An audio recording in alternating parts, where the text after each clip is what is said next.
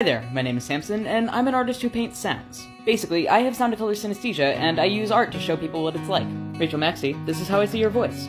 Hope you enjoy. I'm a big fan of your work.